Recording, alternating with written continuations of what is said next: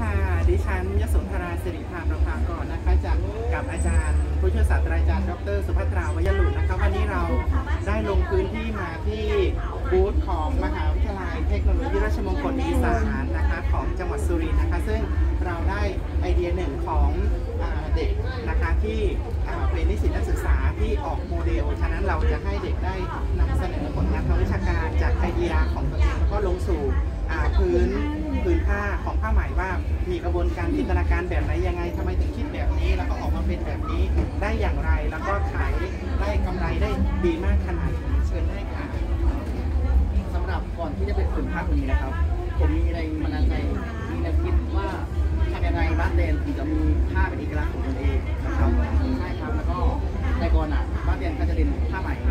แต่ยังไม่มีผ้าเป็นที่เป็นเอกลักษณ์ผมคือมีแนวคิดว่าทำยังไงบ้านเดนถึงจะมี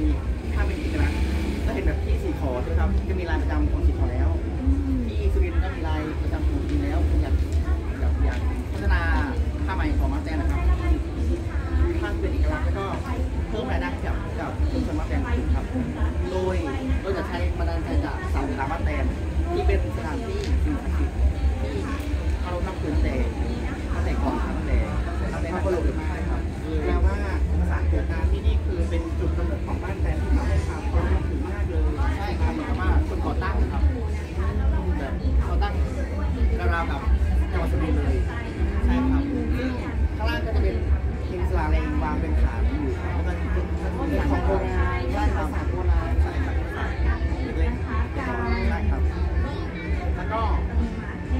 ผมออกแบบได้หกได้จำนวนหกไม่ลายนะครับ ซึ่งใช่ครับจากจากการแบบไปสอบถามแล้วก็ประเมินแบบออกแบบลายขึ้นมานะครับอันนี้ก็เลยทำให้เด็กท่านนี้อ๋อนี่ตอนนี้มีลายอะไรบ้างเอ่ยที่หน้าอันนี้คือลายชนานะครับที่อยู่บนเสียนพระอินทร์นะครับแล้วก็ลายใช่ครับอันนี้ แล้วก็สองก็คือลายประจำยามที่อยู่ข้างล่างนี่ครับลายประจำยามสามลาย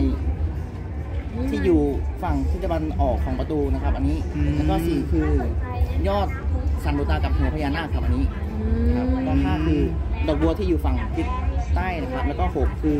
ลวดลายที่กำลังเลื้อยอยู่บนผนังนะครับ อันนี้อ๋อซึ่งจะเอาลายนี้เนี่ยทั้งหกลายไหม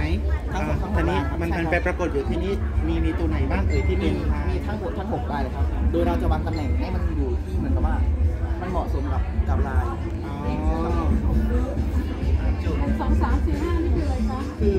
ที่หนึ่งครับอยู่นี่สองสามสี่ห้าหกก็เรียงนี่เลยครับเหมือนกับวางตำแหน่ง ใช่ครับอืวางตำแหน่งมอ๋ออย่างหนึ่งตัวนี้ก็คือตัวนี้ใช่ครับอืมก็ก็ผืนจริงก็อยู่ตรงนี้ครับผืนจริงแต่มันไม่ค่อยชัดครับ อ๋อแล้วตอนนี้เวลาทำออกมาแล้วตกลงผืนนี้นี่มีมูลค่าเท่าไหร่คะ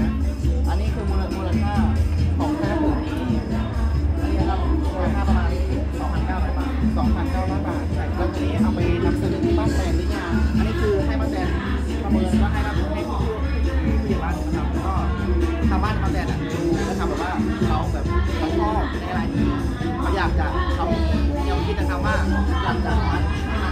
นมัดเหมือนว่าสีให้มันสว่างกว่านี้เพื่อที่จะให้เห็นลายนี้ครับว่าก็คือแปลว่าลายนี้ได้เป็นลิขสิทธิ์แล้วแล้วก็เป็นเป็นอัตลักษณ์ที่ได้การยอมรับของของของชุมชนที่นี่แล้วนะคะก็ถือว่าเป็นไอเดียของเด็กไทยที่เก่งมากใครว่าเด็กไทยไม่เก่งค่ะนี่คือเด็กไทยเป็นตัวอย่างที่เก่งมากค่ะขอบคุณค่ะ